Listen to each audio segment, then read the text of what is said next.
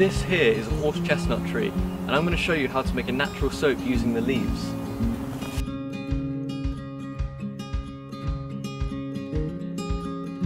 To first be able to identify horse chestnut, you can see that at the end of each stem are about five or six leaves.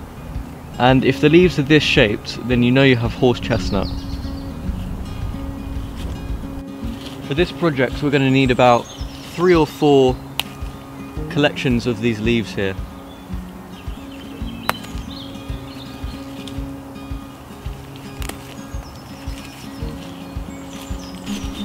Just a side note, I've come across all of this litter here and it's absolutely disgusting that people do this.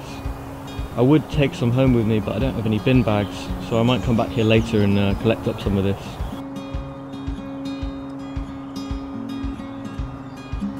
So I'm going to put an ingredients list on the screen right now. So that is everything you'll need for this project. Here I have a bottle which I'm going to be used to containing the natural soap that we create. Here are all the leaves and the first step that we're going to do is we're going to take out a measuring jug and we're going to fill it with a little bit of water.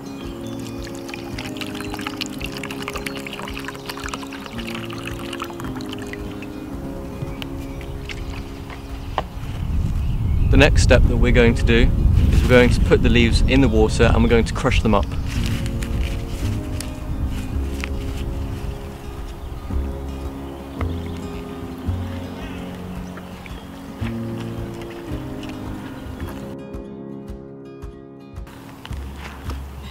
As you can see as I'm stirring it more and more, the water's starting to get really bubbly. And that's because the natural saponins in the horse chestnut leaves are being brought out into the water, which is going to create our soap for us.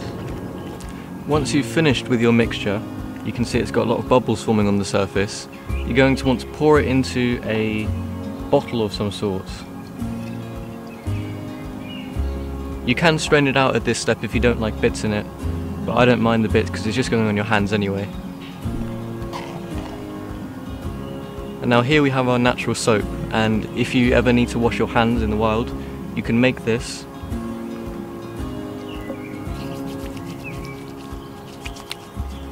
and the natural saponins are a natural soap mixture and it smells pretty earthy as well which is a bonus.